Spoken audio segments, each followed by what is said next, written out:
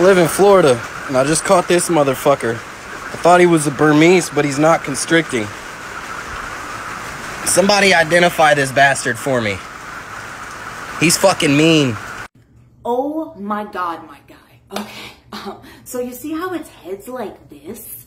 Like, that means it's for sure a fucking nope rope. Uh, that means it's venomous as fuck, and you shouldn't be touching it.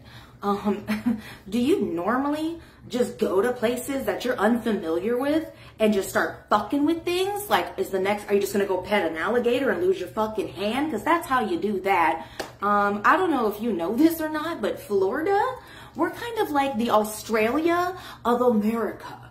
All right. Now I get that other places in America and everywhere else, they have spicy things you shouldn't be fucking with. But down here, like most of the things are spicy that you shouldn't be fucking with.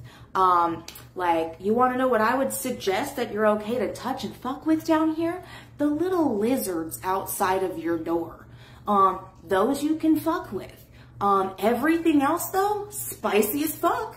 Don't fucking touch it. Just assume it's spicy. You see a turtle? Guess what? It's probably a snapping turtle. It's gonna snap your motherfucking fingers off. Don't touch that either. Just don't touch things. Like I don't understand.